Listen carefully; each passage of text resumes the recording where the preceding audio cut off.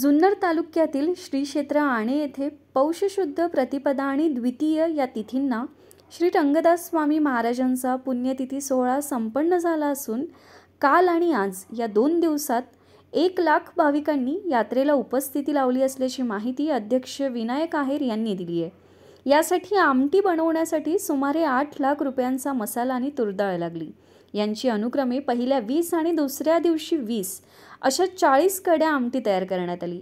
आणि पासष्ट क्विंटल बाजरीच्या भाकरी घरोघरी तयार करून अगदी वाजत गाजत मिरवणुकीने देवस्थानच्या आवारात आणण्यात आल्याची माहिती देवस्थानचे अध्यक्ष विनायक आहेर यांनी दिली आहे.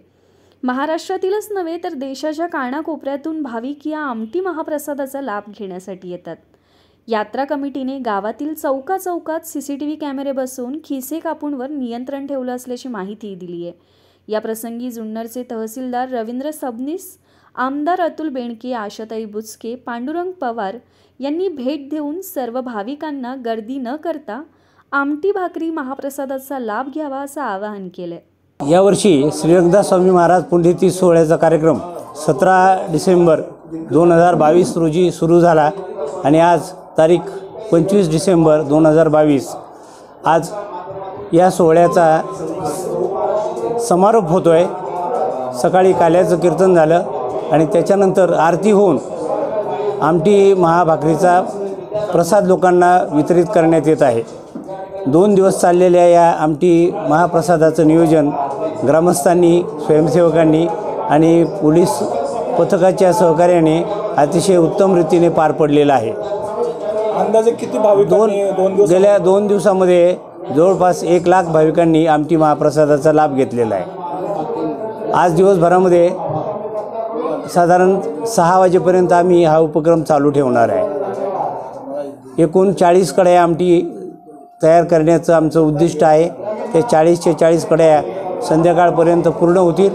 पासष्ट क्विंटलच्या साधारण भाकरी दोन दिवसामध्ये संकलित केलेल्या आहेत. आणि भाकरी आणि आमटी यांचा महाप्रसाद दोन दिवसामध्ये परंपरेप्रमाणे वितरित केला जातो आहे आम्हाला भाविक भक्तांचं गाव गावातील सर्व लोकांचं संपूर्ण सहकार्य लाभलेलं आहे आणि यात्रा उत्सवामध्ये सहभाग घेऊन आम्हाला जे सहकार्य केलं त्याबद्दल उपस्थितीबद्दल मी सर्व भाविक भक्तांचं आभार मानतो. या आमटी बनवताना तिला वीस किलो डाळ असते. आणि पंधरा किलो तेल असतं. परत त्याच्यामध्ये धना चार किलो असतो. मिरची पावडर दोन किलो असते. आणि आमसूल दोन किलो असतो. हळद जिरी मोहरी हे सगळं अर्धा अर्धा किलो असतं. हिंग अर्धा किलो असतो. आणि याच्यामध्ये शेंगदाणा दहा किलो असतो. आणि खोबरं दहा किलो असतं. आणि गुळ दहा किलो असतो. आणि मीठ सात किलो असतं. अशा पद्धतीने ही वीस किलो डाळीची आमटी बनल्या जाते. आणि ह्या आमटीची परंपरा.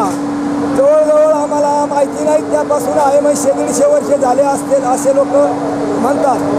त्यामुळे हे लाखो भाविक इथं आमटीचा महाप्रसाद घेतात. प्रत्येक कडेला ज्याप्रमाणे त्याचं प्रत्येक मसाल्याचं जेवढं लागतात तेवढं वजन करून आम्ही त्या पुड्या बांधून ठेवतो.